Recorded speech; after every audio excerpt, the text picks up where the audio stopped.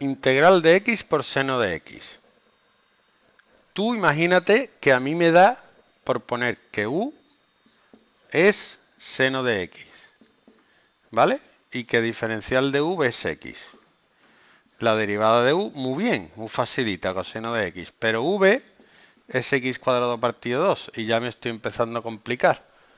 Entonces, si me equivoco al elegir, digo, uh, uh. Sí, sí, pero es que aquí es la integral.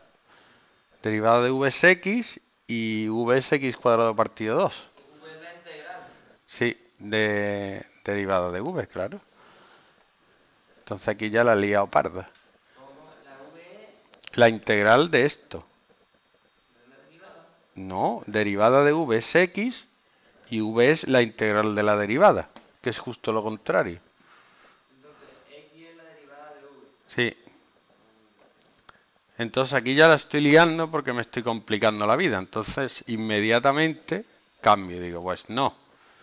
U es X y diferencial de V es seno de X. Muy bien. Diferencial de U sería 1 y V sería la integral del seno, que es el menos coseno. La función que al derivar la da el seno es menos coseno. ¿Vale? Y ahora pongo Entonces, en una hace la derivada y hace la... la integral. Aquí derivo y aquí integro. Y me queda u por v. x por menos coseno de x menos la integral de v, que es menos coseno de x. Pongo el menos aquí, diferencial de u que es 1. ¡Ajá!